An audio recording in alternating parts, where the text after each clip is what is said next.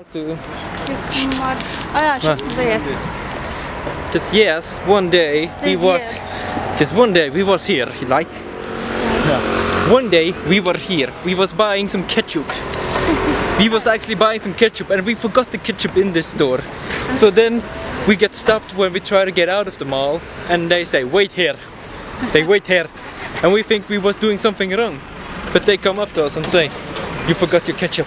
it's true. It's really true.